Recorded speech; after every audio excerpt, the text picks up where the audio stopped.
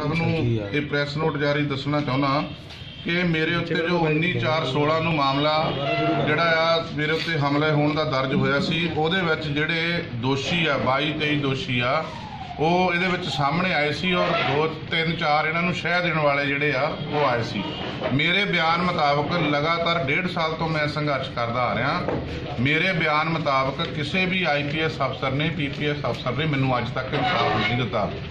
ਸਾਡਾ ਕਹਿਣਾ ਇਹ ਹੈ ਕਿ ਜੋ ਅਸੀਂ ਪੁਲਿਸ ਨੂੰ ਤਸਦੀਕਸ਼ੁਦਾ ਇਹ ਬਿਆਨ ਲਿਖਾਇਆ, ਇਹਦੇ ਮੁਤਾਬਕ ਕਾਰਵਾਈ ਕੀਤੀ ਜਾਵੇ। ਦੋਸ਼ੀ ਜਿਹੜੇ ਉਹ ਹਾਈ ਪ੍ਰੋਫਾਈਲ ਹੋਣ ਕਰਕੇ ਉਹਨਾਂ ਦੇ ਉੱਤੇ ਕਾਰਵਾਈ ਨਹੀਂ ਕੀਤੀ ਜਾ ਰਹੀ, ਰਾਜਨੀਤਿਕ ਦਬਾਅ ਕਰਕੇ ਔਰ ਪੈਸੇ ਦੇ ਜ਼ੋਰ ਕਰਕੇ। ਏਡੀਜੀਪੀ ਕ੍ਰਾਈਮ ਸਾਹਿਬ ਵੀ ਅਸੀਂ ਗੁਹਾਰ ਲਗਾ ਚੁੱਕੇ ਹਾਂ। ਉਹਨਾਂ ਦੇ ਕੋਲ ਉਹਨਾਂ ਨੂੰ ਅਸੀਂ ਐਪਲੀਕੇਸ਼ਨ ਦਿੱਤੀ ਸੀ। ਅੱਜ 18/6 ਨੂੰ ਅਸੀਂ ਉਹਨਾਂ ਨੂੰ ਐਪਲੀਕੇਸ਼ਨ ਦਿੱਤੀ ਸੀ ਤੇ ਅੱਜ ਤੱਕ ਜਿਹੜਾ ਆ, ਸਾਨੂੰ ਏਡੀਜੀਪੀ ਕ੍ਰਾਈਮ ਸਾਹਿਬ ਪਾਸੋਂ ਵੀ ਇਨਸਾਫ ਨਹੀਂ ਮਿਲ ਸਕਿਆ। ਬਾਰ-ਬਾਰ ਉਹਨਾਂ ਨੂੰ ਬੇਨਤੀ ਕਰਦੇ ਹੋਏ ਉਹਨਾਂ ਨੇ ਜਲੰਧਰ ਪੁਲਿਸ ਦੇ ਨਾਲ ਮਿਲੀ ਭੁਗਤ ਹੋਣ ਕਰਕੇ ਇਹਨਾਂ ਨੇ ਹੁਸ਼ਿਆਰਪੁਰ ਤਫਤੀਸ਼ ਭੇਜਤੀ। ਮੈਂ ਇਹ ਪੁੱਛਣਾ ਚਾਹੁੰਦਾ ਪੰਜਾਬ ਪੁਲਿਸ ਦੇ ਉੱਚ ਅਧਿਕਾਰੀਆਂ ਨੂੰ ਕਿ ਕੀ ਇੱਕ ਪੰਜਾਬੀ ਵਿੱਚ ਲਿਖਿਆ ਹੋਇਆ ਬਿਆਨ ਪੜਾਉਣ ਲਈ ਜਿਹੜੇ ਮਦਈ ਨੂੰ ਡੇਢ ਡੇਢ ਦੋ ਦੋ ਸਾਲ ਤੱਕ ਜੇ ਮਤਲਬ ਇਨਸਾਫ ਨਹੀਂ ਦਊਗੇ ਤਾਂ ਪੰਜਾਬ ਪੁਲਿਸ ਕੀ ਕਰ ਰਹੀ ਆ? ਤੋ ਇਹਦਾ ਆਮ ਲੋਕਾਂ ਨੂੰ ਤੇ ਗਰੀਬ ਲੋਕਾਂ ਨੂੰ ਦੱਬੇ ਕੁਚਲੇ ਲੋਕਾਂ ਨੂੰ ਕੀ ਫਾਇਦਾ? ਕਿਹੜੇ ਬੰਦੇ ਆ ਜੀ ਉਹ? ਸਰ ਤੁਹਾਡੇ ਤੇ ਹਮਲਾ ਕਰਨੀ ਕਿਸ ਤਰ੍ਹਾਂ ਕੀਤਾ ਸੀ ਤੇ ਤੁਸੀਂ ਪਰਚਾ ਕਿੱਥੇ ਕਰਾਇਆ?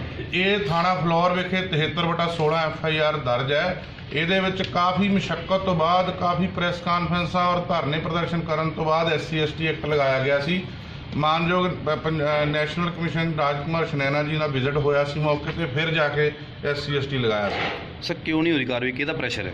ਇਹਦੇ ਚ ਮੌਜੂਦਾ ਜਿਹੜੇ ਸਾਡੇ ਐਮਪੀ ਸਾਹਿਬ ਹੈ ਚੌਧਰੀ ਸੰਤੋਖ ਸਿੰਘ ਜੀ ਉਹ ਪ੍ਰਗਟ ਸਿੰਘ ਜੀ ਤੇ ਹੋਰ ਜਿਹੜੇ ਇਹਨਾਂ ਦੇ ਸਾਥੀ ਹੈਗੇ ਆ ਪੁਰਾਣੇ ਬਹੁਤ ਸਾਰੇ ਹੋਰ ਵੀ ਜਿਹੜੇ ਅਕਾਲੀ ਆਗੂ ਆ ਇਹਦੇ ਚ ਸ਼ਾਮਲ ਹੈ ਕਿਉਂਕਿ ਇਹਨਾਂ ਦਾ ਦੂਜੀ ਪਾਰਟੀ ਦੇ ਜਿਹੜੇ ਲੋਕ ਆ ਇਹਨਾਂ ਦਾ ਇਹਨਾਂ ਦੇ ਨਾਲ ਕਾਫੀ ਆਉਣਾ ਜਾਣਾ ਔਰ ਬਹਿਣਾ ਉੱਠਣਾ ਹੈ। ਸਰ ਜੇ ਹੁਣ ਪੁਲਿਸ ਕਾਰਵਾਈ ਨਹੀਂ ਕਰਦੀ ਤੁਸੀਂ ਕੀ ਕਾਰਵਾਈ ਤੇ ਧਰਨਾ ਕਿੱਥੇ ਲਾ ਰਹੇ ਹੋ? ਆਪਾਂ ਆਈਜੀ ਦਫ਼ਤਰ ਜਲੰਧਰ ਦੇ ਅੱਗੇ ਬਹੁਤ ਜਲਦ ਜਿਹੜਾ ਆ ਦਿਨ ਰਾਤ ਦਾ ਧਰਨਾ ਪ੍ਰਦਰਸ਼ਨ ਜਿਹੜਾ ਕਰਨ ਜਾ ਰਹੇ ਹਾਂ।